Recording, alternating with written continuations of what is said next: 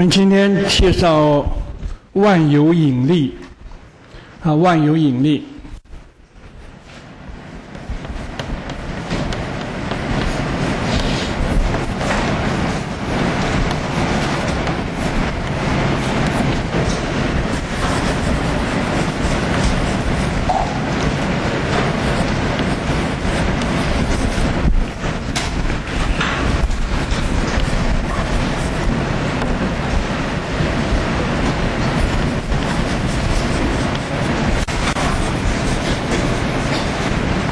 gravitation. Universal gravitation，这个是牛顿所发现的。呃，他的理论就是说，每一个质点，每一个质点，就说我们宇宙中间呢，每一个质点都会对宇宙。间的其他质点有一个引力，啊，有一个 attractive force。那么这个引力呢，它的大小是跟两个质点的质量成正比，与它距离质量的乘积成正比，哈，与距离的平方成反比。那么方向呢？就是在两个质点的连心线上面。啊，我们其实在第五章啊，已经跟各位介绍了它最重要的部分哈。我们讲牛顿力学的时候已经介绍过了哈。那就是说，我们宇宙间有一个质点，但其他有很多质点哈。不管是哪一个质点，它对它呢？都有一个 attractive force，一个引力。我们现在把这个呃坐标画出来一下哈，坐标。比如说这个这一，这是二，好。那么我们现在看这个，从这里到这个地方，这个距离。我们算它是 f r one two，哈，那么我把这个画大一点哈，其实它是指点呢，然后这个到这一边的距离呢，我们称它叫做 r two one，好，那么有这个单位向量，这是一个单位向量。啊，这个单位向量啊是 r one two univector，这个是 r two one 的 univector，然后啊，这个力从这里往这一边啊，这是 m two 吸引它的力。啊，那么这个力呢，这么过来呢是 m one 吸引 m two 的力，那我们把这个，我们干脆把力啊，不要画这么长哈，画短一点，画短一点，这个是 R one two，这是 R two one，好。这个力从这里，好是 m one 吸引 m two 的力，我们称它叫做 F one two。那这个力是 m two 吸引 m one 的力，叫 F two one。它们两个会互相吸引的，就是每一个指点对其他的指点都会。有一个吸引力，好，牛顿他就说明哈，他就把这个关系呢找出来。他说，F one two 是等于负 g m one m two r one two square univector r one two。啊，好，那 F 那这个就是 m one 这个指点吸引 m two 的力。反过来呢，那 F two one 它也等于 G 啊 m two m one r two one square R two one。好，这是呃牛顿发现的哈。我上次说过，他发现这个没有马上发表，因为啊，这个式子啊只适用于什么呢？M 一跟 M 二是指点的时候才能用。如果你这个物体很大，它是有体积的，这个式子啊不能用，因为你不能把整个体积的东西啊。这么大体积都带进去哈，啊，不能这么大体积带进去，因为你这么大体积的东西带进去啊，你 R one to R two one 要怎么选呢？啊，所以他没有马上就，呃，把它用进去哈。那么，即使他发现了这个，也不是一个。做个梦就出来。我们说他被苹果坐在苹果树下，看到苹果掉下来，就得到一个灵感哈。那这个是一个神话哈。其实牛顿呢，他是一个了不起的一个数学家，他物理非常好，他观察力非常的敏锐。啊，他在苹果树上、苹果树下看书的时候啊，看到这个树叶都往下掉。苹果也是往下掉，他就觉得很觉得很奇怪哈，为什么物体都是往地上面掉，并且他看到月亮绕着地球在转哈，当中也没有绳子，他为什么要绕地球转？那可见呢，这当中一定有力的存在啊。于是啊，他就开始啊，呃，有这个概念，说这个两个指点之间呢会有引力。他还没有这个事哦。后来他就看这个天体的运动，天上星球的运动，他就把啊那个时代有一个很著名的天文学家叫 Kepler，那比牛顿还早了啊，他花了二十年来研究天上行星的这个轨迹，把这轨迹啊。呃，研究出来了，让牛顿就根据他这个 Kepler 的三大行星定律啊，就来看看这两个引力应该有什么关系啊？结果他这个引力呢，啊，这个式子啊，可以用来解释 Kepler 的这个三大行星定律，所以呢，他就认为这个是正确的，但是他又不敢发表。就是我刚刚说的，这个式子仅局限于 M1、M2 是指点。好，为了要解决这个问题，物体应该也可以哈，但是不能直接带这个式子。于是他就开始着手研究微积分哈。你们念的微积分呢，就是牛顿发展出来的啊。然后有微积分以后啊，我们就可以用积分啊，把两个物体之间的引力啊，用这样的一个式子把它导出来啊。那么这就是呃万有引力。那么这个当中的 G 就是万有引力常数，我也曾经写过，它是六点六七三一零。乘十的负十一次方个，Newton meter square over kilogram square，哎，这个叫万有引力常数。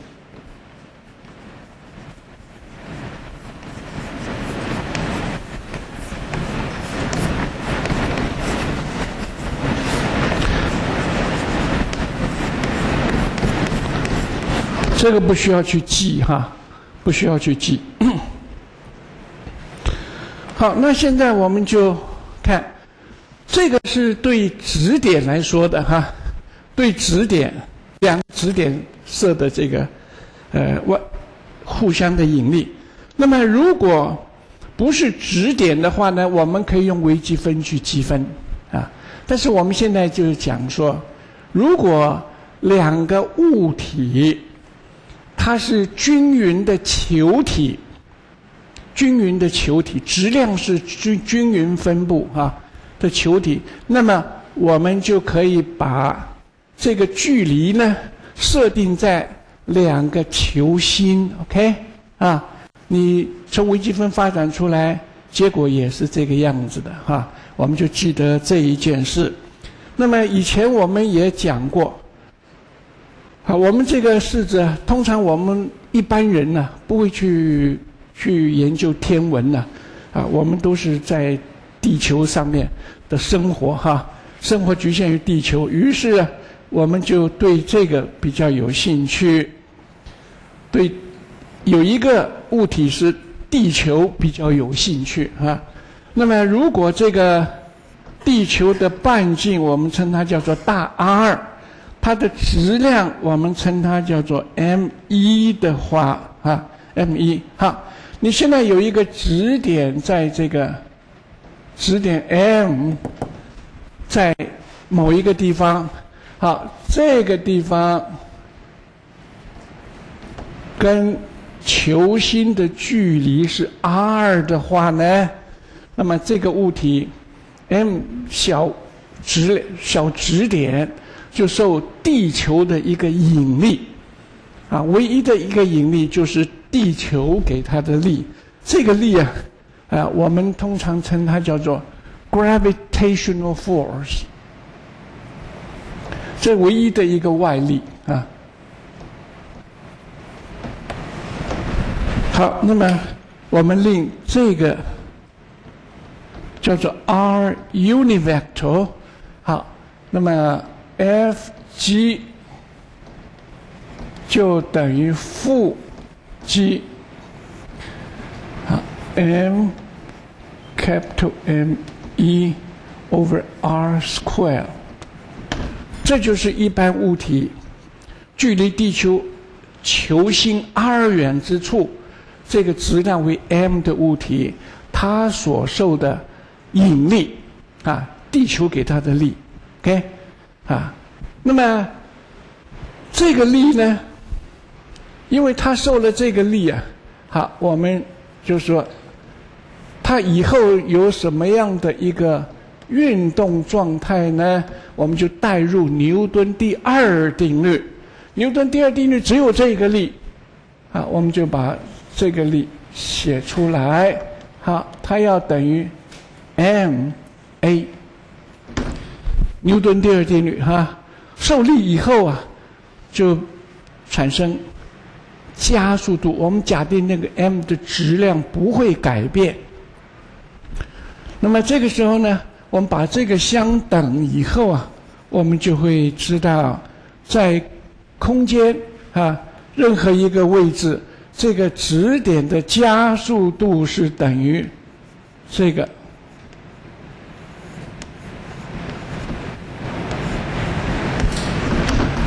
质点的加速度，质点的加速度啊。那么这个。我们也把它写成这个东西，g，这个不是地球表面的重力加速度。地球表面为了要跟这个分别，我们就把地球表面的重力加速度啊，把它设定为 g 零啊。这个 g 呢，就是一般的加速度，但是它另外有一个名称，叫做重力场。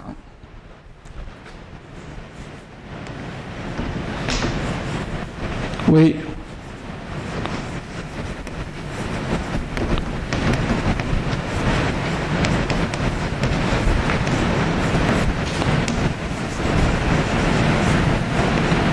gravitational field 重力场，重力场的意义是什么呢？就是说，单位质量就是一公斤的物体，一公斤的这个，我们讲质点好了，它在空间任何一个位置受地球的引力，你要把这句话写上去哦，哈。我有时候讲的，你就要很快的把它写出来。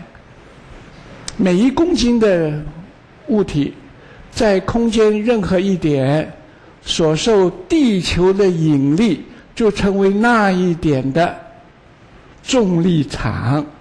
嘿啊，所以重力场是一个负的 r 方向，就是说向地心啊，向地心的。OK，好，这是任意一点的加速度。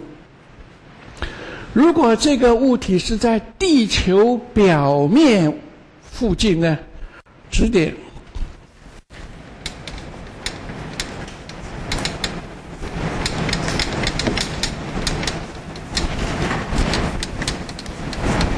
在地表附近，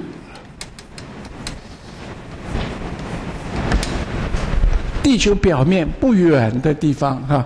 我们可以再画一个嘛？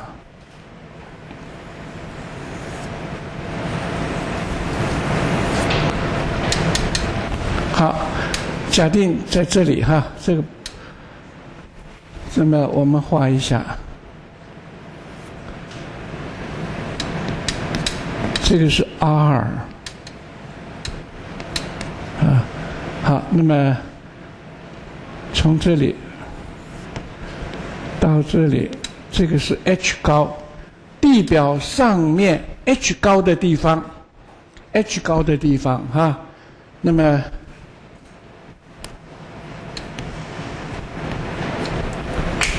它所受的力啊，它所受的力 F 啊，也是 F G 了。现在我们可以把它写成 sigma F。external，啊，external，好，它就等于负 g，这个还是一样，m 一 over r 平方，好，但是现在这个 r 呢，它是等于负 g m，它是等于 r 加 h，啊，这一段是 r。这一段是 r，r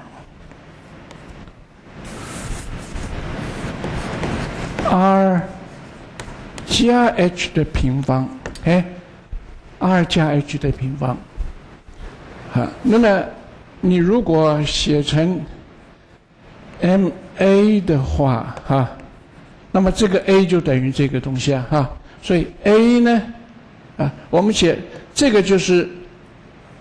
G 零了啊，G 零，这个时候就等于 a，它是等于负 G m 一 r 加 h 平方 r。如果这个 h 啊比 r 小的很多很多的时候，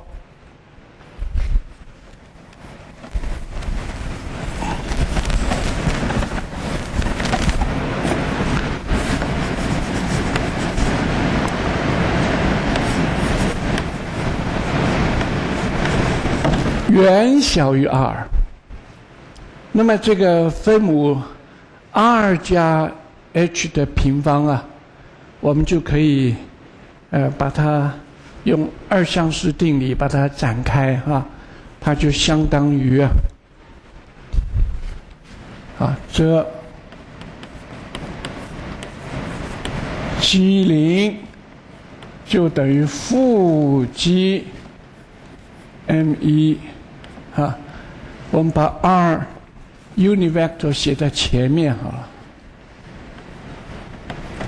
啊，这个是 r，我们把 r 提出来，把这个 r 提出来哈，我把这个 r 提出来好了。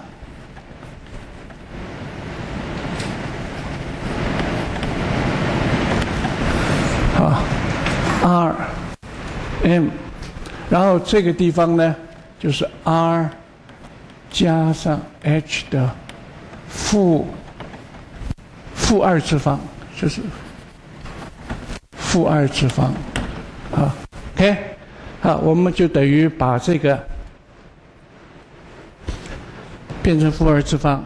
那现在我们不是这是变成一加二已经提出来了，一加上 h over r 的负二次方，哈。这个比这个小很多哈，所以这个就可以马马虎虎的等于，呃，负 r unit vector m 一 over r 啊，这个就可以把它当做一，哈，减的二乘上 h over r，这个比它小很多很多很多哈。好，我们。我们就等于这个哈，马马虎虎，我们就取这一项，所以等于负 r m 一 over r 啊，那么这个都是常数啊，啊，所以这个就等于定值。这地面上的地表，这正在地表上面的这个重力加速度。你如果距离地表不太高的话，它的重力加速度可以马马虎虎的看作跟地表的加速度一样啊。好，然后我们呃以前在公在渭南那一章啊也讲过啊，如果一个一个指点在地球附近扫过去的时候。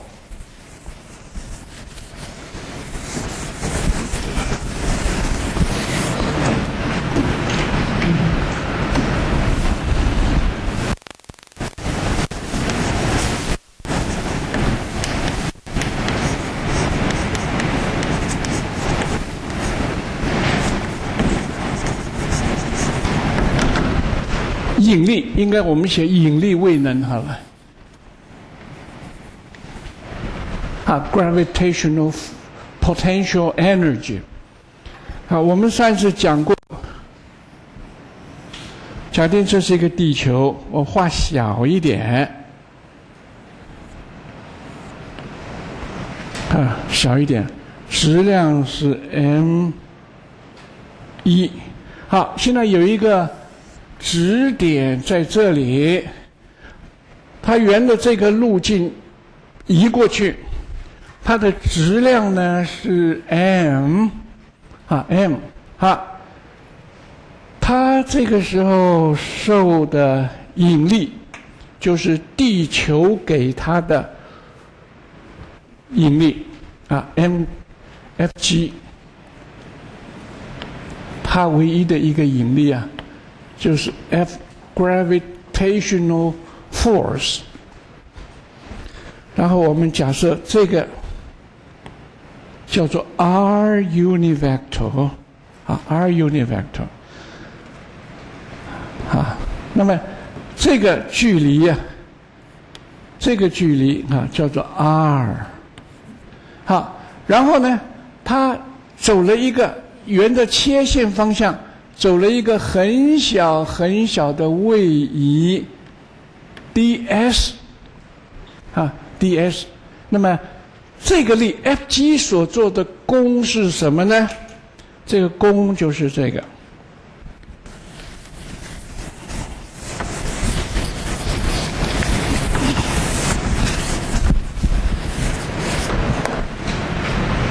好，我们说。Fg 所做的功是等于 Fg dot ds from A to B 啊，from point A to point B，A 等 B。好，那我们现在要算这个啊，啊，算这个的话呢？我们先把里头的向量把它处理掉，啊，向量处理掉，因为积分不能够积向量啊，除非这个向量是一个定值啊，否则你没办法处理。所以我们要把向量呢变成存量，变成存量，我们就把这两个，哎，用向量内积来做一下啊，它就等于负 g m cap m 一 r square。r 哈 dot ds ds 就是这一段路径切线方向的这个路径。那么我们现在可以把这个向量分成两个分量啊，两个分量，一个分量就是沿着半径的增增加的方向，一个就是朝这里啊，一个就是这个分量。这个，这个我们称它叫做 dr 啊，这个呢，这个大小是 dr，方向就是 r univector，。那这个呢，因为很小很小很小，啊，这个我们取它的直角，这个角度如果我们设定它是 d 西塔的话，好，那西塔的方向是跟 r 垂直，跟 r 垂直哈。我们就定这个是西塔的 uni vector 好，那么这一段的长度就是 r 乘 d 西塔，r d 西塔哈，我们这个先写大小就好了，它是大小，好，那么因此 ds 呢，它是 r univector 乘 dr，再加上西塔 univector r。d 西塔，ds 是这个。好，我们把这两个做内积，这个 dot 这个夹角零度，所以它啊这个存在。这个跟这个 univector 夹角九十度，一到的就是零了，所以它就只剩下这个，所以它就变成负的 g m m e over r square dr 现在是存量的哈，现在是存量的，我们就把这个带入那个式子哈，好，把它带到这里头来，所以 f g 它就等于哈，我们可以把负的这个提出来。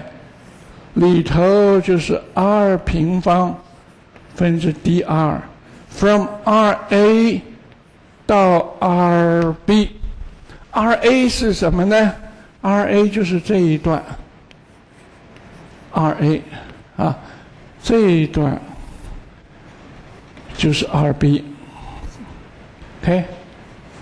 b，好，这个。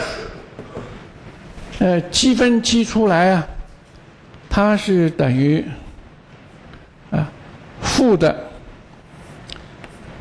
我们其实以前都导过哈，都导过。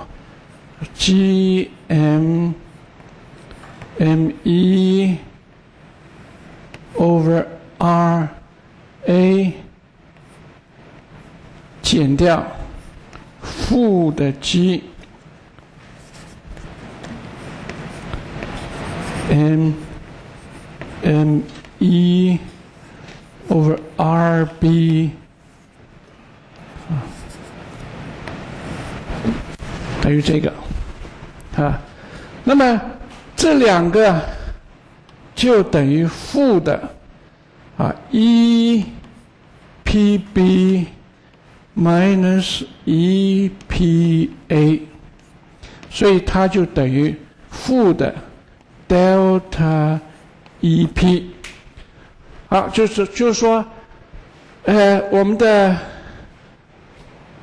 重力位能、引力位能，呃，要引力做的功，它可以写成未能改变的负值，因为它最后的形态只跟起初的位置与幕后的位置有关，啊。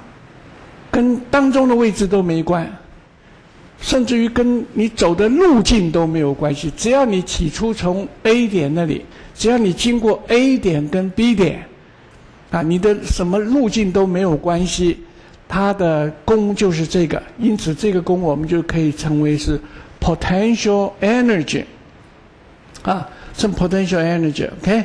好，那么，呃，因为它只跟起初末后的有。位置有关。如果说幕后的位置又回到起初的位置，哈，就说它绕了一周又回来了，它的位能差就是零，啊，就是零。因此我们说呢，引力也是一种 conservative force，它是一种保守力，啊，引力是一种保守力，OK，啊。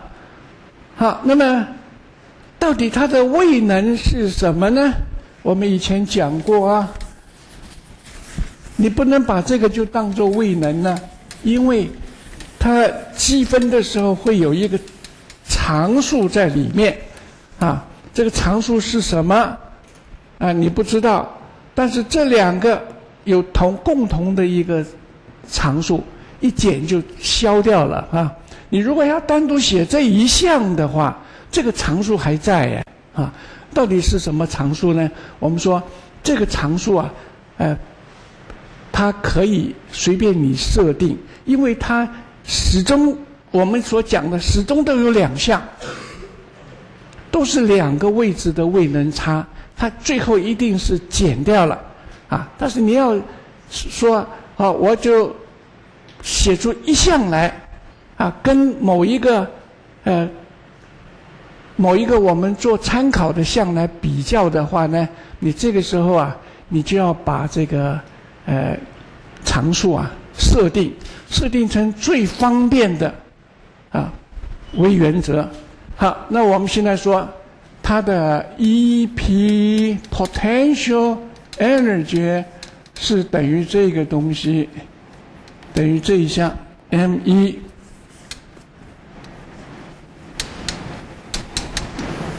over r，哈，然后呢，哎，要加上一个常数。这个常数啊，没有关系哈。那你什么常数都可以，反正最后它减掉了。所以我们现在可以设定啊，设定设定一个位置，它的电位等于零，以后都跟它来比较。啊，你一 b 减一 a 这是两个差嘛，对不对？如果一 a 是零的话，那一 b 减一 a 就是一 b 嘛，对不对？啊，所以呃这个时候啊，我们就可以用一项来代表位能差。我们设定 r 在无限远的时候，我们根据这个形态，它在无限远一 p 我们设定它等于零。啊，那么这个时候呢，啊，在你这个设定之下，我们就知道 c 是等于零。这个常数设定它等于零多好啊，啊，那以后就不要不要写出来了，对不对？你如果设定一个数值啊，你说我设定它在无限远的时候 e p 不等于零，可不可以？可以呀。那这个时候 c 就不是零啊，对不对？你每次都要写一个 c 呀，啊，你也可以不要设定无限远，你设定二零，二零是某一个常数，电位是等于一 p 零，但不是零。好，那你带进去的话，一 p 零，啊，这个这个是 r 零哈，等于 c，哈，c 就等于一 p 零减掉一个这个东西，那多麻烦呢哈，啊，我们就用这个好了哈。好，在这个时候啊，任意点就是任意位置的位能为 E_P，我用颜色来写好了哈，E_P 等于负的啊 G M capital M E over R，就是这个。你用这个的时候，就表示它在无限远的时候，e p 等于零哈。OK，好，那么我们就以后都用用这一项哈，这就是它的重重力位能。将来如果是两个星球之间，比如说，呃，一个行星跟太阳之间的位能呢，我们就可以设距离太阳无限远的地方位能等于零，那么它的的位能就是等于行星的质量乘太阳的质量，然后行星跟太阳之间的距离哈，这带进去就好了。OK，好，那么以上我们介绍的是重引力位能。现在我们来介绍一下 Kepler 的行星运行定律啊，Kepler 它的行星运行定律，它我们简单就称它叫做 Kepler's law 啊，Kepler's law，OK。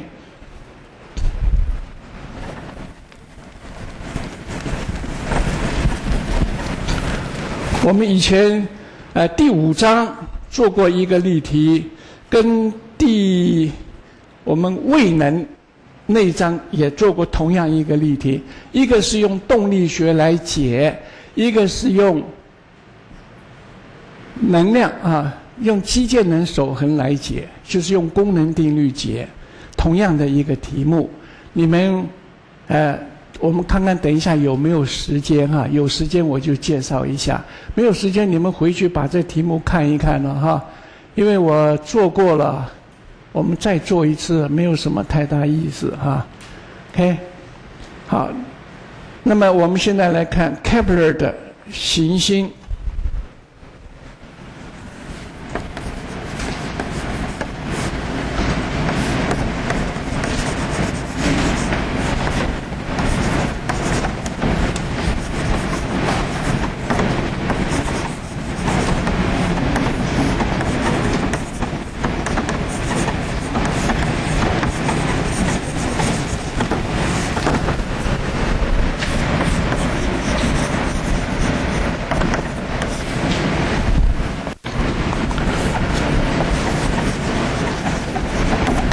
laws，呃，Kepler's laws 它一共有三个定律。第一个定律就是说，它行星就是指太阳系的行星哈。另外，如果还有别的太阳系的话，是指那个太阳系的行星。OK，啊，它是指它的行星跟太阳之间的这个一个规则啊。好，它第一个 first law，它是说，呃，行星绕太阳的轨道，一般可以用椭圆来表示，就是行星绕太阳的轨道啊，都是椭圆形，哎。我们画在这里，等等，这个图啊，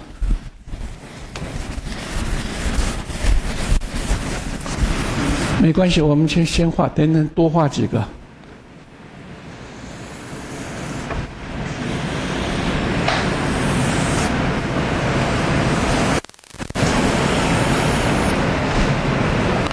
画的不太好。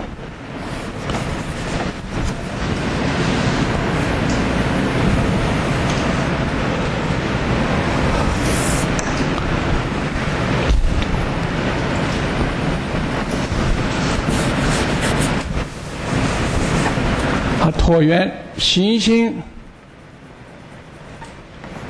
嗯，这个是 sun 啊，OK，这个是 r，它始终在圆这个切线方向啊跑。那么行星绕太阳的轨道都是椭圆，然后太阳在哪里呢？是在两个 focus，就是焦点，两个焦点中的一个，啊，太阳就是在两个焦点中的一个，啊，这个是呃第一个行星定律。好，第二个定律是说什么呢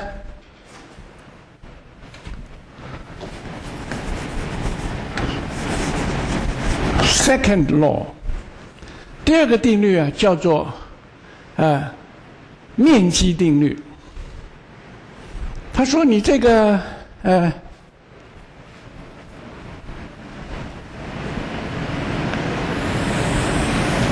椭圆啊，椭圆形的轨道，比如说你起初在这里。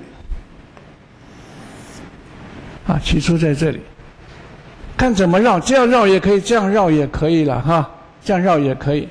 好，那么这个角啊是西塔角，西塔角。好，它从这里走过一个很小很小的距离啊，以后这里有一个低西塔角。D C 它角，哎，我画错了，应该画的焦点才对。焦点啊，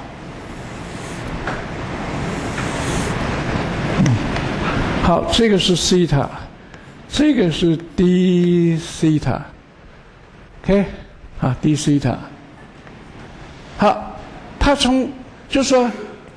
你这个行星到太阳之间的这个连线，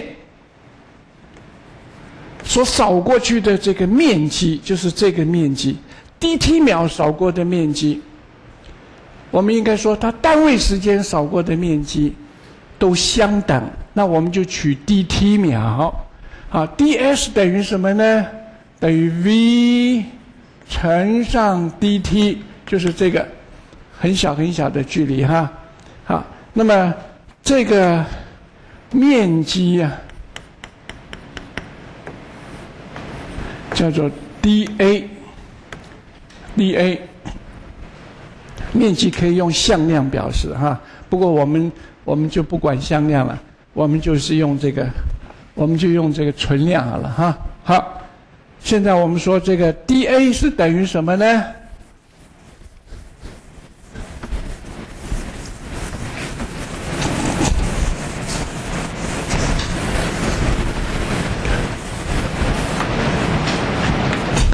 我们先写，dA 是等于二分之一，因为你这个很小很小的时候啊，我们可以马马虎虎把这个当做是一个三角形啊，而一般呢，椭圆没有这么厉害，没有没有扁的这么厉害，一般行星的轨道啊，跟圆呢差不了多少。如果是这样的一个轨道，那是什么星呢？彗星，啊，彗星才是这样的一个轨道。它绕它绕一一周啊，有时候七八十年哈，就是它那么那么轨道那么长哈。那么一般的行星呢，几乎都跟圆差不多。所以呢，我们就可以把这个啊二分之一。就当做好像这是一个直角三角形一样啊，就是底层二分之一底层高了，这个是 r 了啊，r 好，那就可以当做是 r cross v dt，我们取绝对值，就取它的大小哈，OK，好，那么。我们先摆在这里哈，这个东西先摆这里。我们先看这个这个行星的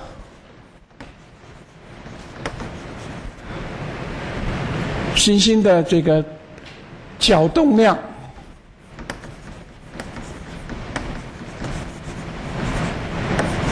跟它的力矩。好，行星这个时候所受的力是什么力呢？它唯一的一个力就是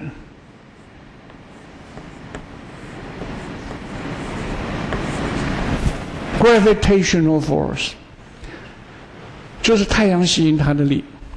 啊，其他星球会不会吸引它？会，但是那个力啊都太小，因为距离它太远太远，啊，所以我们就当做只有太阳的力啊影响到它，唯一的一个力就是这个力，而这个力跟什么有关呢？跟 r univector 方向相反，啊，好，那么我们现在就说它的。Angular momentum，angular momentum 的定义是什么？是 r cross mv，对不对？mv，啊，好，那么这是它的 angular momentum，啊，不是这个，我看看，哎，angular momentum，好，我们说它的 torque 是什么东西呢？torque 就等于 r cross f g，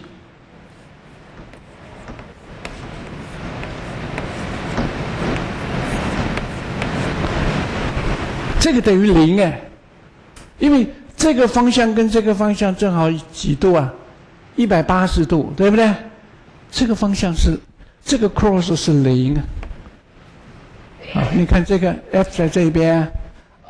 R 在这一边呢，啊，它们夹角是几度啊？一百八十度，上一百八十度就是零，啊，因为这个等于零，啊，也我们可以写成这个 sigma top 等于这个，所以 angular momentum 等于 R cross mv，它是等于呃 constant 的。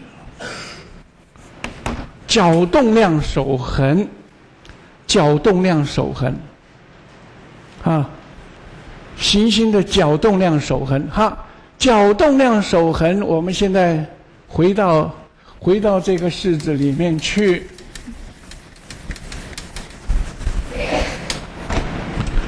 这个式子，我们可以把它改写一下，dA，哈。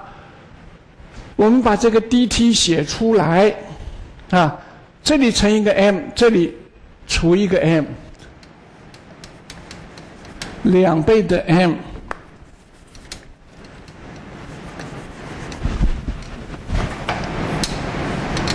好，这里我们写 r cross mv over dt，那这个就是什么？angular momentum 嘛，哈，那么你加个绝对值就等于大小啊，二 m 分之 angular momentum 乘 t，那因此我们就有 dA over dt 就等于两倍的 mL 等于定值，OK。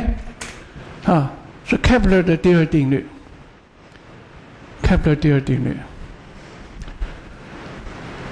好，那么你看，它可以用 Fg 来，就是牛顿那个定律用进去，可以得到这个结果。啊，好，这个是呃，啊，我们这个地方最好是写这个哈，这个时候的 m 啊，就等于 m planet。啊，planet 就是行星啊，行星的这个啊，这是行星的质量啊，行星的质量。OK，那这个时候这个就是行星的质量，这是太阳的质量啊，行星的质量这是太阳的质量。好。现在我们要进行看 Kepler 的第三定律，the third law of Kepler 啊，third law。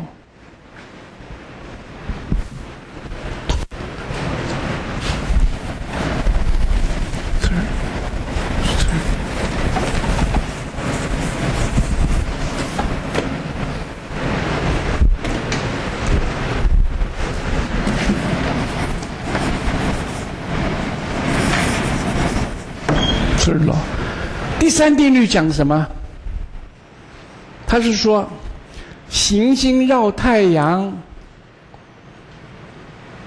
它轨道运行的周期的平方，跟它的半径的平方，因为我们刚刚说，它这个椭圆相当于什么？一个圆嘛，哈，就与 r 的三次方，t 平方跟 r 的三次方成正比，t 的平方跟 r 的三次方成正比。好，我们现在呢，呃，要来看这个哈。我们说这个行星绕太阳这个轨道啊，马马虎虎可以看成一个圆哈。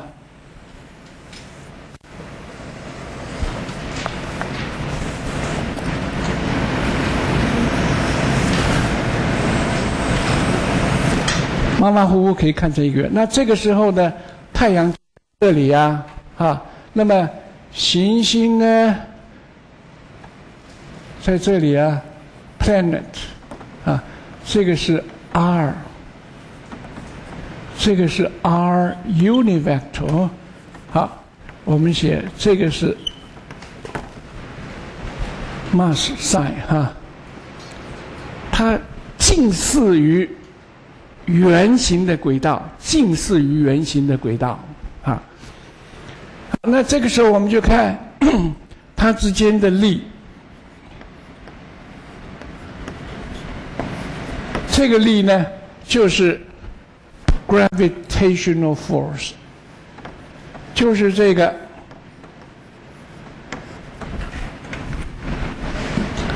好，它就等于负极 m 一 over m p r 平方。好，这是它的力的来源。好，有这个因。就会有果出现，它的果就是等于 m planet 乘上向心加速度，向心加速度啊，我们就负的 v 平方 over r square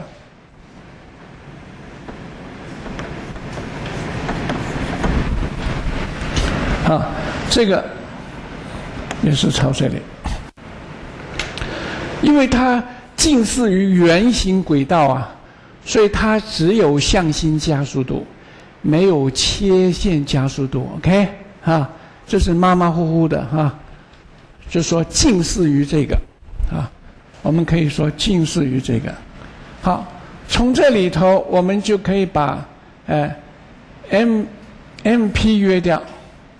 好，m p 约掉，那么，呃，我们就得这个，呃，这个 v 哈，v 平方，我抄上去哈，等一等，我我写错了，这个这个地方是 r，啊 r，OK，好，我们 r 约掉一个，好，我们就可以把这个式子，这个跟这个相等哈。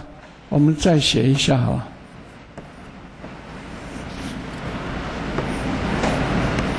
好，这个剩这边，好，这个呢就是 v 平方 over r，如果没有约的话，我们就是写 r 哈，不要约好了。v 平方呢，v 平方我们可以写成二派 r over。period 平方啊，period 平方，OK，好，你把这个式子整理一下的话，我们就得，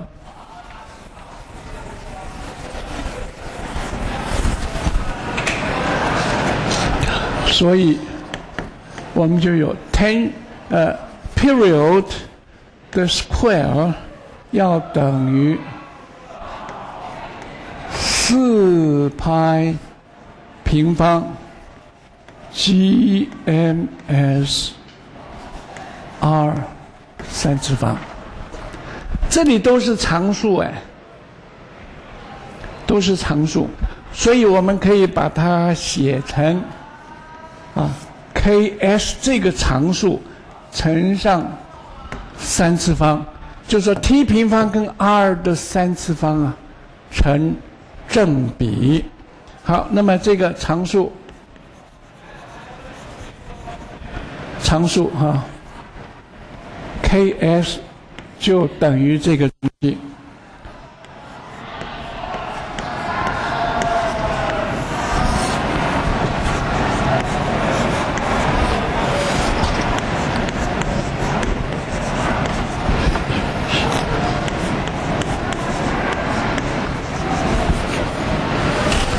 好，second square per meter square，好，这就是第三定律，OK。呃，以后我们就可以用这个式子来算哈。你如果你知道这个是什么样的一个哪一个太阳系的太阳，不一定是指我们太阳系啊，银河系里面有数不清的太阳系了，啊，啊有有无穷多个。无限多个太阳的啊！你看哪个太阳哈？所以这个啊，这个看太阳而定。好，它的行星半径是多少？它的周期就多少？通常这个半径呢，我们不好算出来。那么远，你怎么算它的半径？我们可以算它的周期，你知道吗？Period 啊，可以看看它的周期。周期知道，你就知道它的。绕太阳的半径是多少啊？好，这个是 Kepler 的三大行星定律。以下我们就来看一下行星轨道上行星的能量跟我们地球人造卫星的能量有什么关系哈？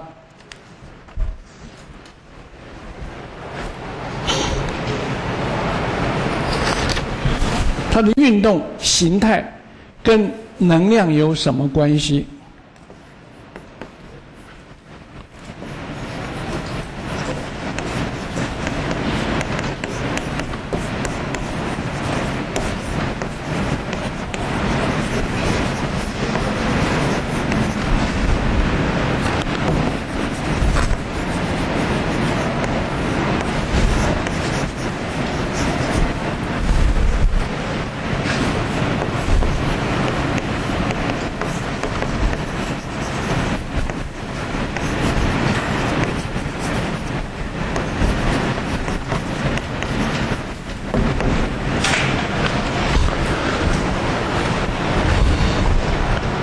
我们首先看这个。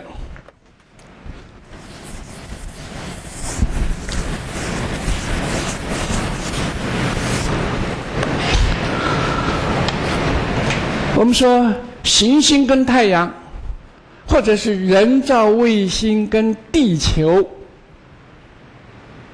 它们的位能就是我们刚刚所导出来的这个形态，哈。我们假设这个，我们现在假定是这样，好了。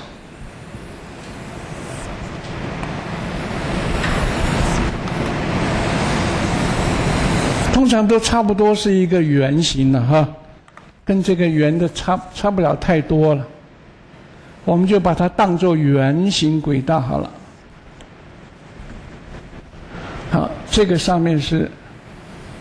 小 m，这个是大 M。那大 M 我们可以看成是，如果你把大 M 看成太阳的质量，那么小 m 就是地球的质量，就是行星的质量哈，不一定是地球。如果这个是地球的质量呢，小 m 就是人造卫星的质量，OK？啊，这样子哈。那么这个系统的。我们假定它在这里，速度是 v 啊，它绕的时候角速度是欧米伽，这个半径是 r。好，那么系统的位能啊。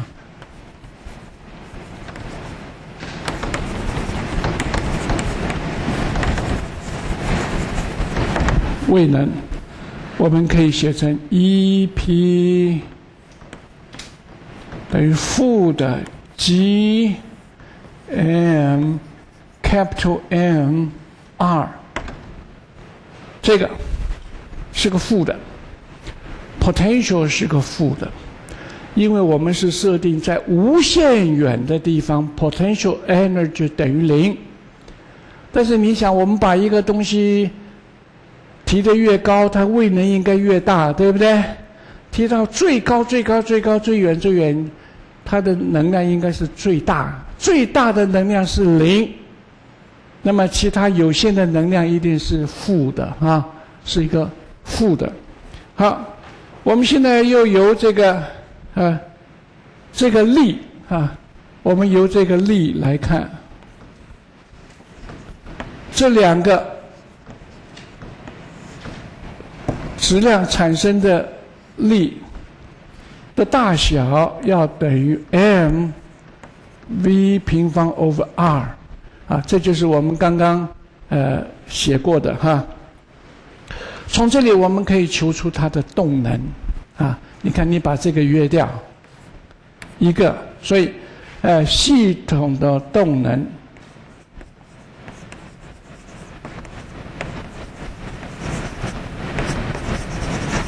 动能，E k 等于什么？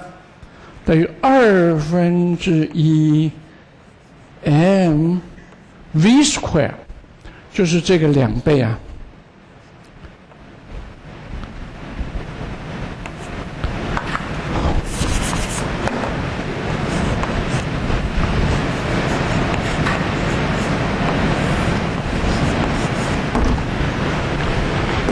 大小是它的一半，但是这个是正的哦，这个是正的哈，好，那么我们就看系统的机械能。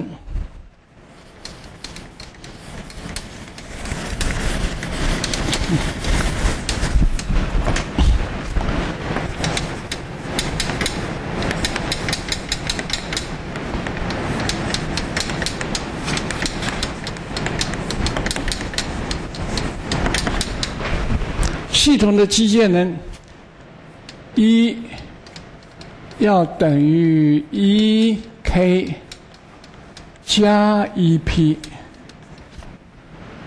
好，那么它就等于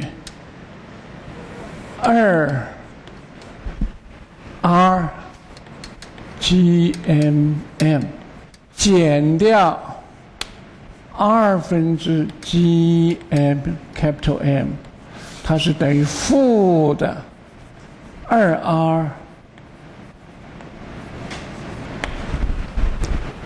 它的系统的总能量其实就是总能量哈，是等于负的，等于负值啊，等于负值。好，那么现在我们就看这个。那么我们刚刚说位能呢，等于零是在哪里？在无限远，对不对？位能等于零在无限远的地方。那么动能呢？动能是这个，跟 r 有关系，r 有关系。你看哈，r 越大，动能就越小，对不对？所以你。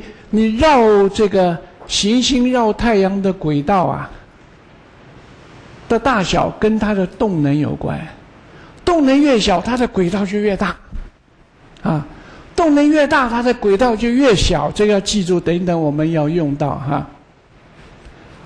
当 r 趋于无穷大的时候，动能是多少？等于零。那也就是说，动能。也是零的时候，这个指点在哪里？也在无限远，对不对？所以无限远之处啊，如果这个指点在无限远之处，它的位能也是零，它的动能也是零，那么它的总能呢，就是零。好，它总能是零，它就是距离，比如说我们星球距离太阳无限远的状况就是这样子的。你现在放一个人造卫星上去，可不可以放到啊？如果你要放到无限远的话，啊，无限远的话，你这个动能呢，到那里动能就是零了哈。你你要就说我们现在放人造卫星就是怎么样呢？你放的越高，越高，它的它这你还要把它绕着轨道了哈。它绕轨道的时候，它的动能呢就可以越小，啊，可以越小，它才不会掉下来。啊，可以可以不掉下来。你如果放到无限远，它不动，它也不会掉下来啊。没有动能，它也不会掉下来。OK，啊，那么总能量是零，那就表示说这个星球啊跑跑不出去了，啊，这逃不出这个太阳的引力。我们把这个呃把这个图画在这里，这个图要大一点的空间。我们把位能、动能、总能三个曲线函数曲线画一下。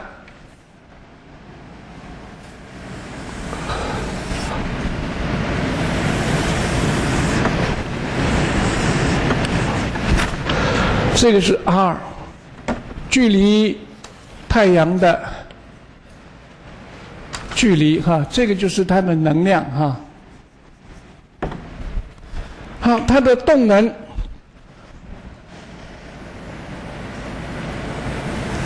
你要到无限远，它才会趋于零啊！哈，这个是什么？E K，E K 是正的，E K 绝对是正的，啊，因为这些值都是正的，，E K 是正，所以它是在零的上方。好，E P 是什么呢？E P 是负的，这也要趋于无穷远啊。去无限远，它才会趋于零。好，这个是 E P，E P 是负的，E P 是负的。那么总能是这两个加起来，两个加起来以后啊，它的能量就是这个。用白颜色就好了。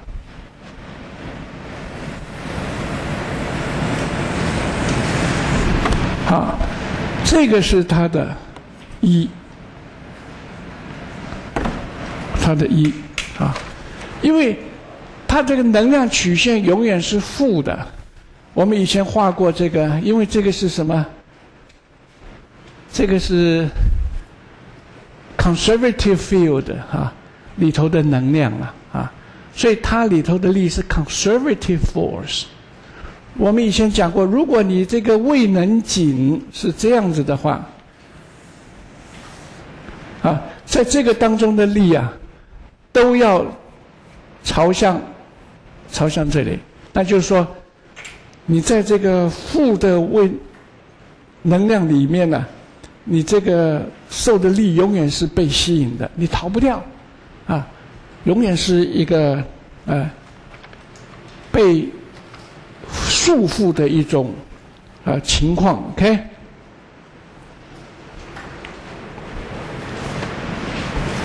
所以我们看到，因为它的整个总能量是负值。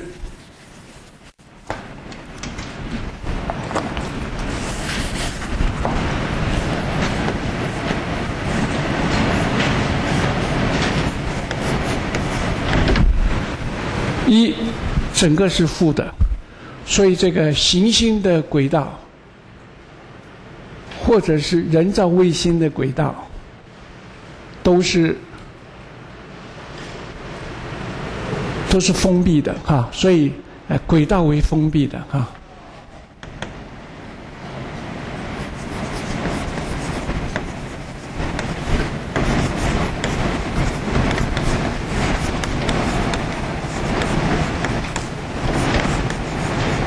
就说他们是被束缚的，我们知道人造卫星呢，最后啊。还是掉下来，啊，到最后它还是掉下来，没有说最后人造卫星呢往外飞出去的哈，没有，OK，啊，因为你你要逃出这个逃出这个系统的时候，你的总能要大于零啊，才跑得出去啊，哈，那么这个是呃。我们可以看到，这个是一个封闭的。好，那么，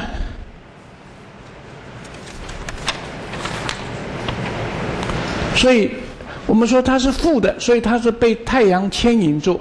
人造卫星就是被这个被这个地球牵引住，所以跑不掉。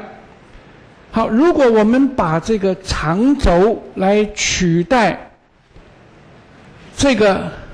这个式子，或者是这个式子，啊，我们现在把这个呃，我要把这个轨道画出来一下哈。系统的机械能，啊，好，我现在把这个。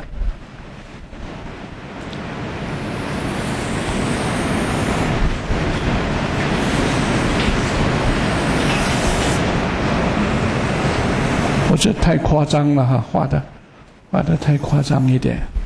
好，这个是两个焦点，啊，两个焦点。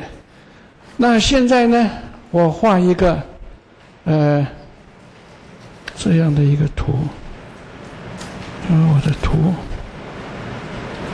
十六五六七。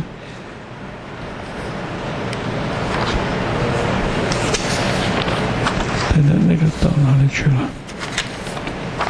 好，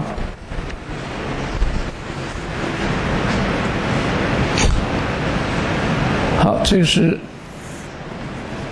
m 啊，m，这是 r，OK，这个是西塔。好，这个是大质量 m，大质量 m。那现在啊，我们说这个是什么？这个距离，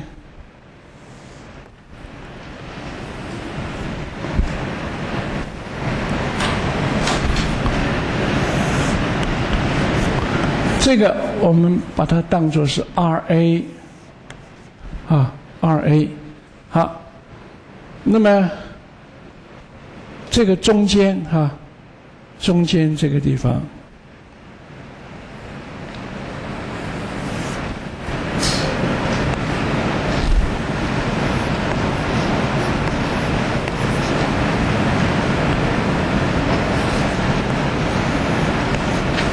先把这个画出来了哈。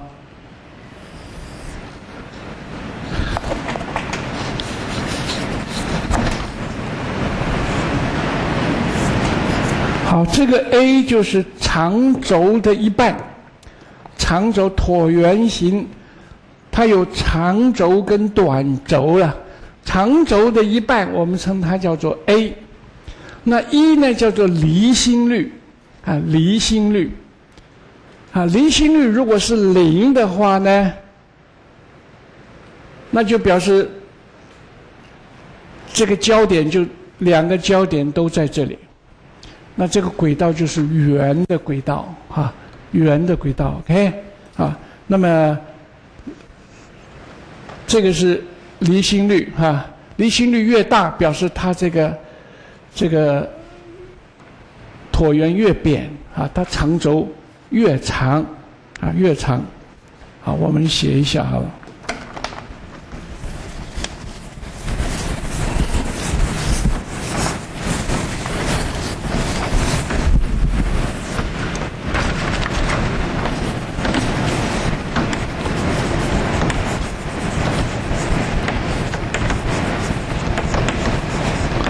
长轴的一半，一为。离心率叫离心率，叫 eccentricity，eccentricity。好，那么这个焦点啊跟中心的距离叫做 e a，一乘上 a，OK。好，那么。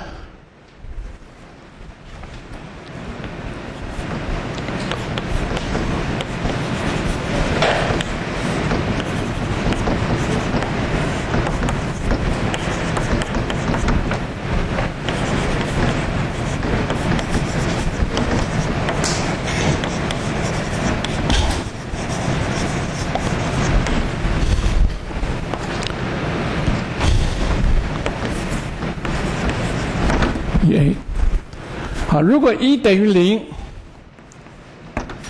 那么焦点呢？啊，二焦点合二为一，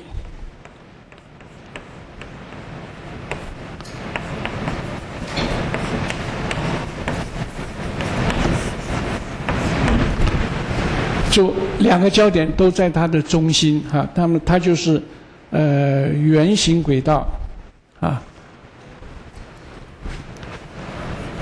这个时候，轨道为圆形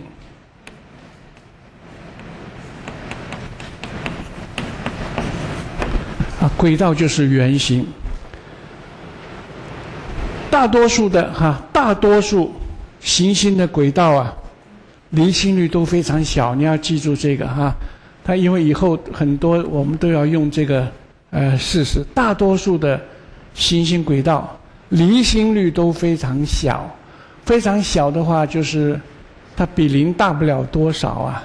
那么它就是一个圆形的轨道啊，圆形的轨道。OK，好，那么它在这一点的时候啊，这一点我们称它叫做啊 RA 啊 RA，RA 我们称它叫做远日点。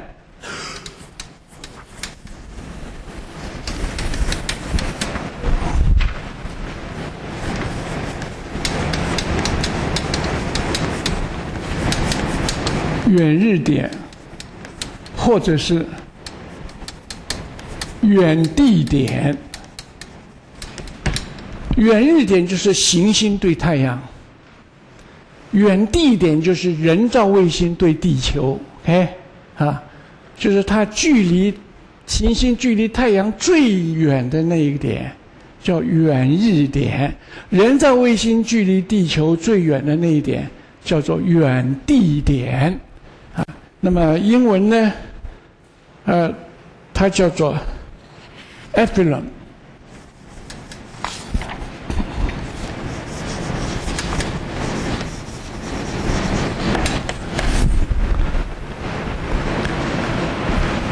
啊，那么 RB 啊，RP，RP 就是这个，这叫近日点。这个，啊，RP，RP，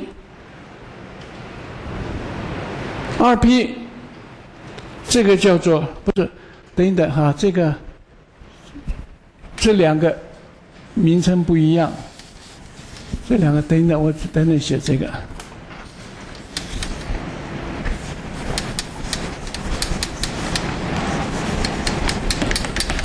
如果是人造卫星的话呢？叫远地点，远地点我们称它叫 apogee。好，那么 RP，RP 是叫做近日点，啊，近日点，近日点，我们称它叫做 peri，peripheral。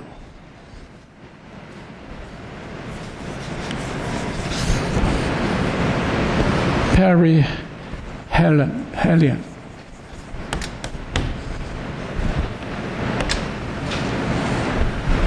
那如果是人造卫星的话，叫做近地点，它叫做 Perry G。OK，好，这些呃，我们都差不多。我们都熟悉一下哈。近日点，那么接着我就要再看它的，我们再看它的这个，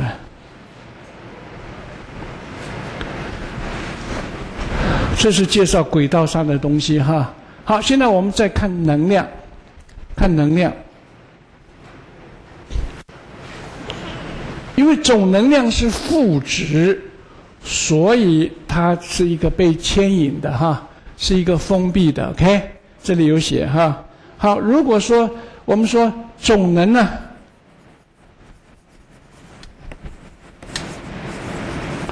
与离心率无关，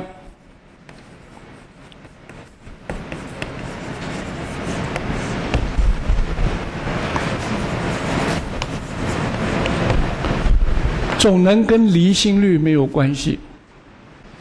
跟一没有关系，所以只要呃半长轴一样的所有轨道上，只要这个半长轴一样大，啊，半长轴一样大，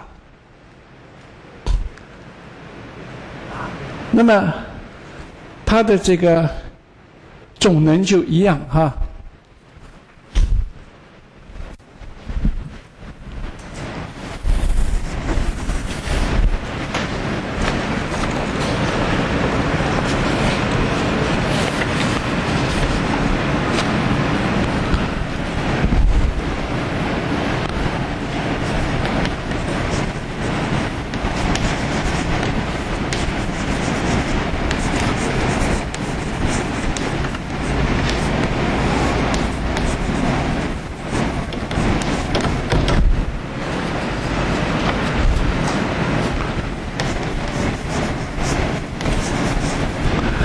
半长轴一样大的轨道，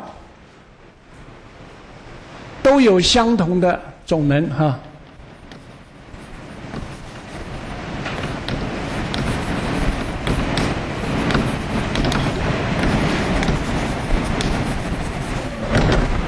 都有相同的总能，OK。好，那么呃，我们。现在就可以把这个有同样能量的这个星球啊，它的轨道啊，有的是圆的，有的是椭圆的哈。我们来看一下。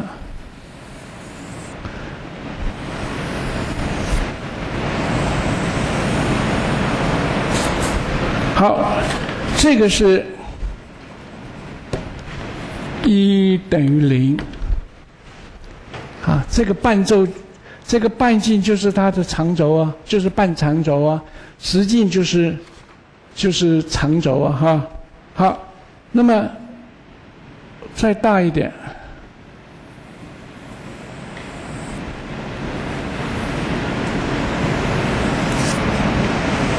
我这画的不好，你们可以书上面去看一下哈。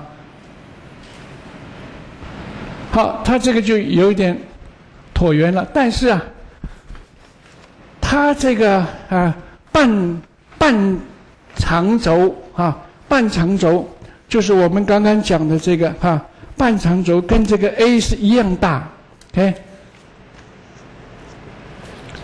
半长轴啊跟 A 一样大。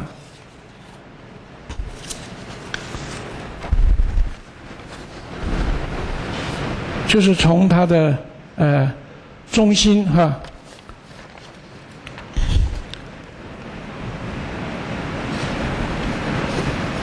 中心。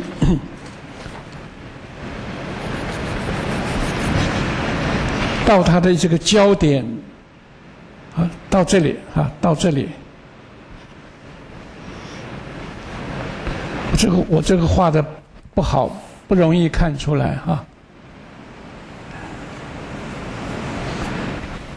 好，我们说，我们不要不要去，因为这 scale 哈，你画的不准，定不出来了哈。好，这个就是一等于零点五，它就变成椭圆了哈。但是它的半长轴是一样长，半长轴，它的半长轴跟这个圆的半径是一样。好，离心率再大一点呢，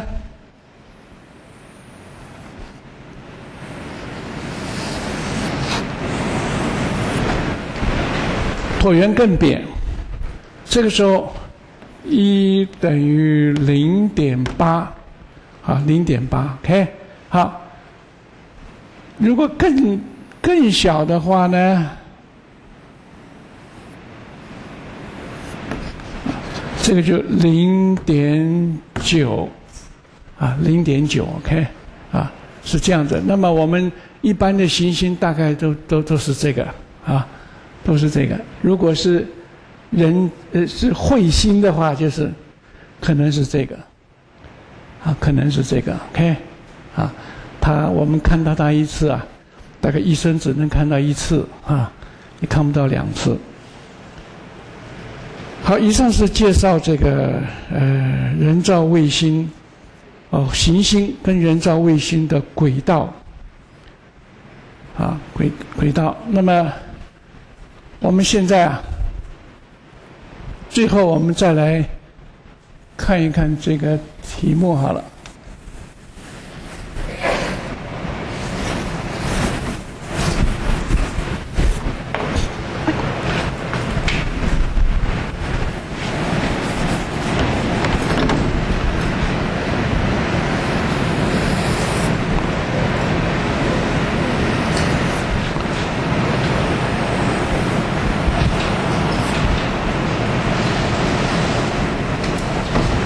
这是地球，啊，半径是 r，质量是 m 一。好，那么现在呢，我们在地球的表面以 v 零的速度上抛一个球，上抛一个小指点 m 的指点，然后它要到。某一个高度啊，某一个高度，OK，好，这个高度啊，呃，我们假定哈，任意高度，距离地表是距离地心是 r，那么距离地表是 h 高，啊，那这一段长呢是 r，到达这里。如果它是，我们要问，要想它到达的高度是 h 等于半径，v 零要多大？啊，第二个就是说，当它的高度是无限大的时候，就是要把它丢出这个地球的引力的时候，那我们的呃丢。初速度 v 零要多大？OK，啊，求这个，我们以前不是求过吗？啊，我们说啊。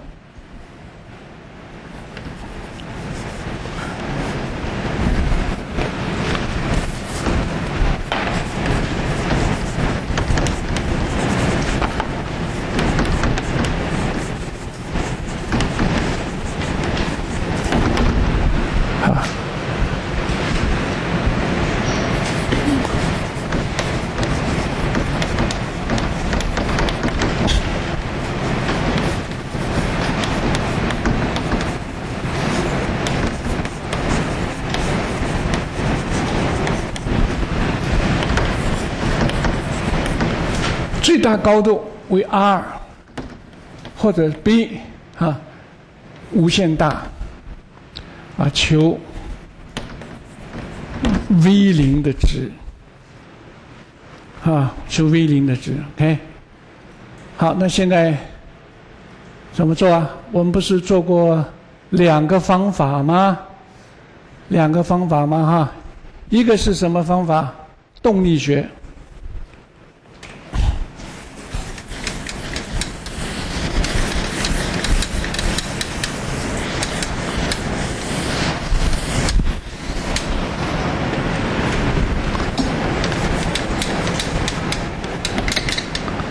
由动力学来做，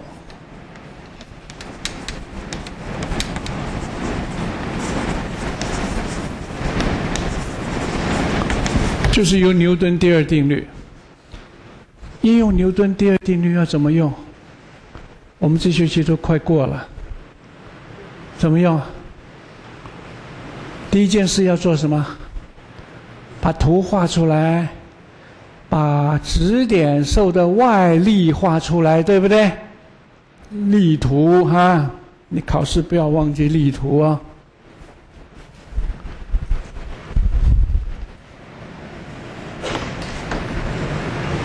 质量是 m，啊，它唯一的一个力就是 gravitational force，gravitational force，好，我们说 sigma f，它就等于 f，我们可以写这样子，啊，f gravitational force，好，它是等于 m。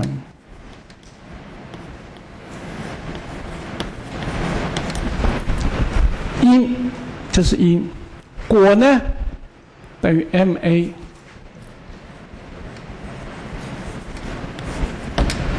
所以我们就知道它的加速度是等于负的，啊，负的，这我们可以把 a 呀啊就就写这样好了啊，负的 m 一 g 先写。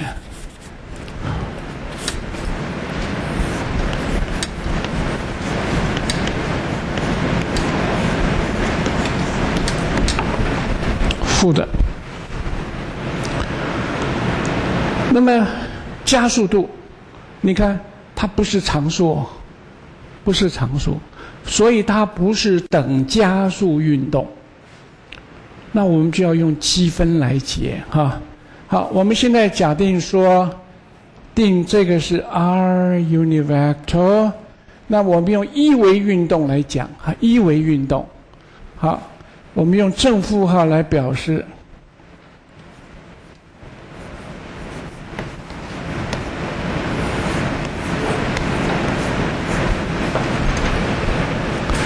等等，这个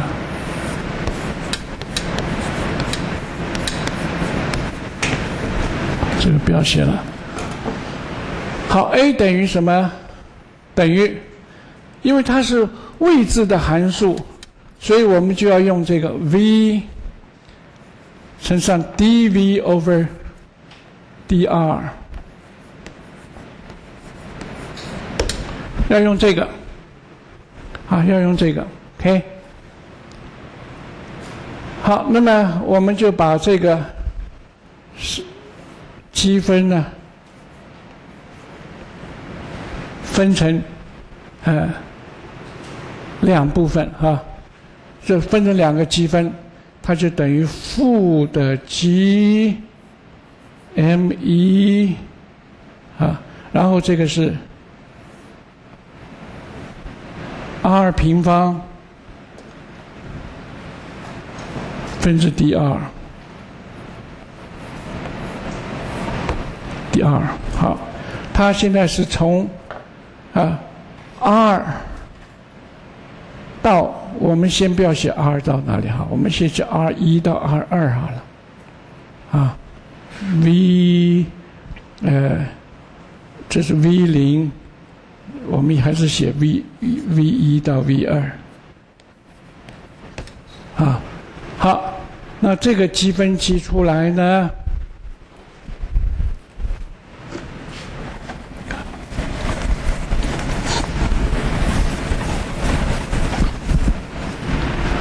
这边就是二分之一 v 平方 v one 到 v two，那边就是负的呃 mg。好，那这个是呃 r two r one 减 r two。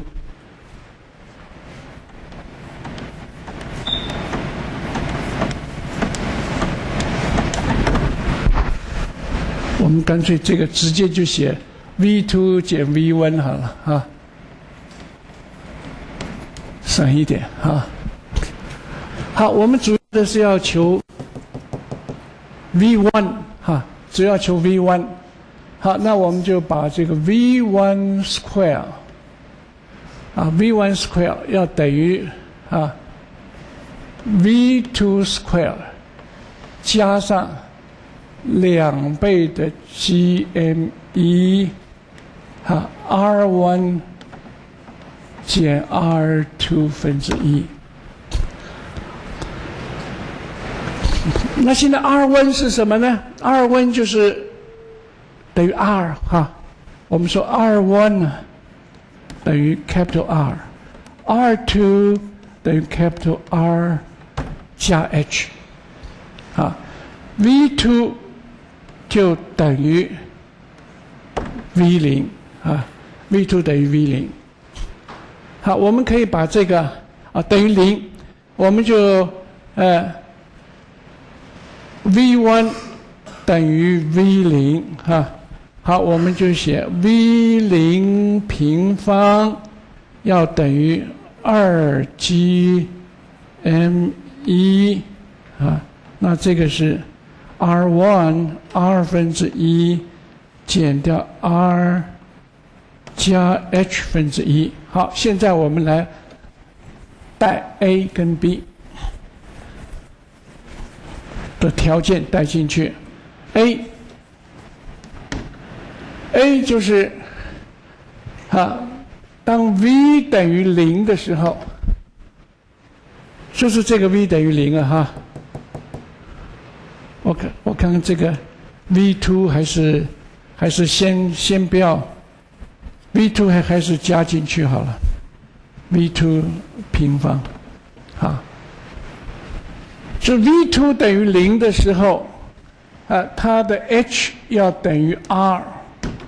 啊，h 等于 r，所以 v 零的平方，这是零了，哎，好，等于二 m 一，呃，r 分之一减掉两倍的 r 分之一，所以它就变成 m 一，g 漏掉了，漏掉一个 g 哈，over。二，over r。好，我们可以上下都乘一个 r，那么这个就变成这个地球表面的 gravitational 啊，地球表面的重力加速度乘 r，所以 v 零呢就等于根号 r 乘上 g 零啊，Part B。就是 v two 等于零的时候，r approaches infinity。好，这个时候，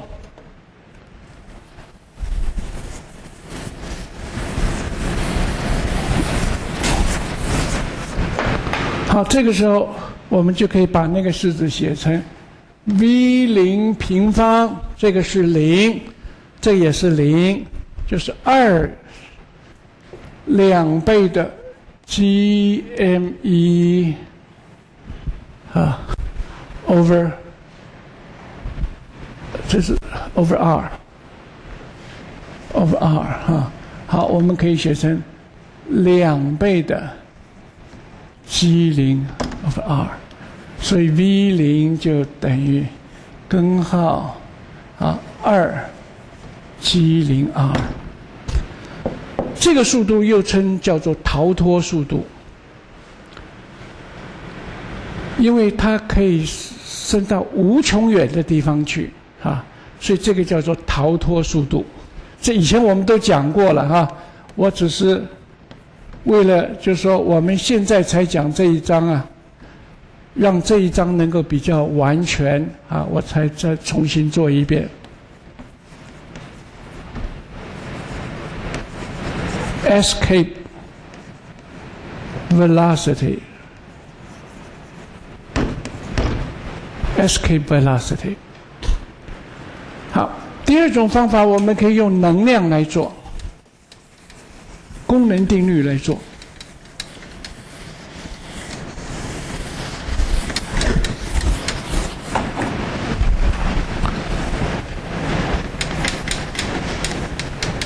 方法二用功能定律解。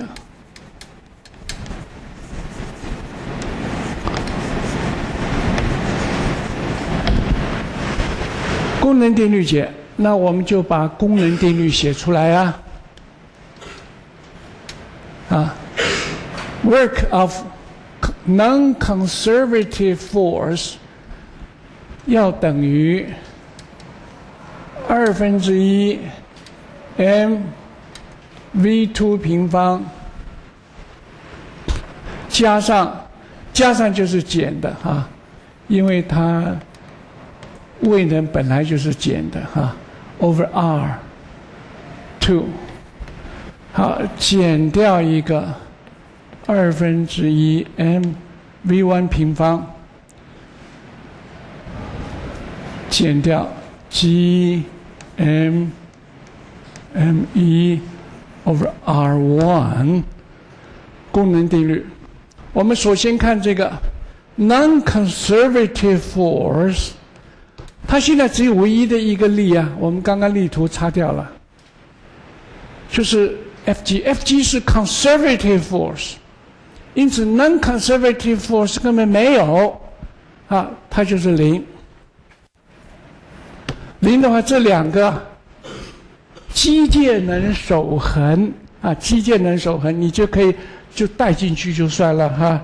好，我们呃把这两个式子哈整理一下的话呢，呃，我们可以，我们我们干脆这样写好了，r one 就等于 r，好，r two r 加上 h。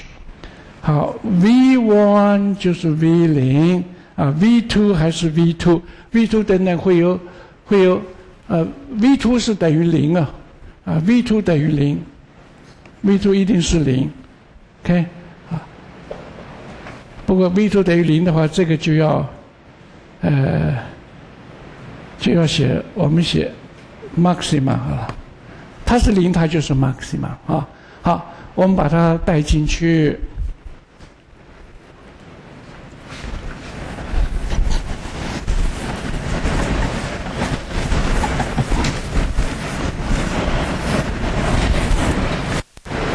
把它带进去，哎，我们就可以等于啊，零等于零，二分之一 m v two 平方是零，好，减掉 g m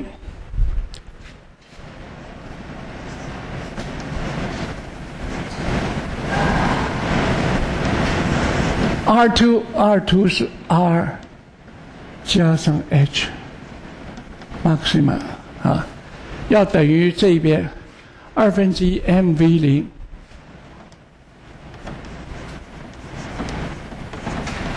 好，减掉 m m 一，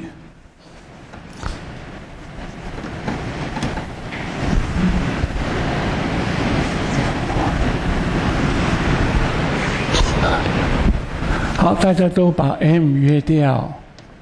好，我们就得 v 零平方，这有个 g 漏掉了，啊，等于 g 乘上 m 一，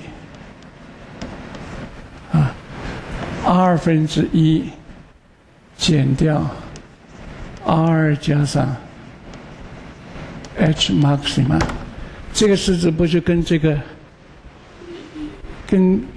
刚刚那个是不是擦掉了？擦掉了，一样哈，啊一样。好，我们说 a，a 哈，这个等于 r，那么 v 零就等于啊 g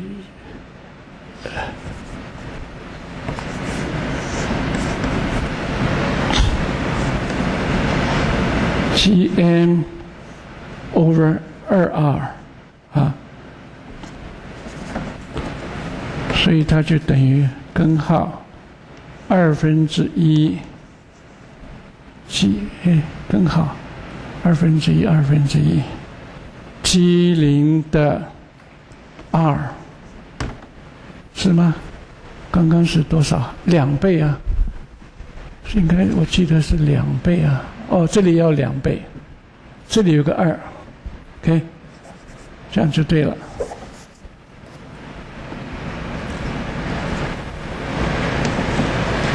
两倍的在里面，不是这个在里面。对，那我这个说过，等于这个，这这一个啊，就是等于 G M 有这二分之一嘛，R，所以等于根号 G 零 R。好，Part B，H maxima 等于无穷远的时候，V 零。就等于啊两倍的 G M over R，就等于根号两倍的 G 零乘上 R，一样的哈。这是做呃我们做唯一的一个例题给各位看。那么万有引力我们就大致介绍到这里。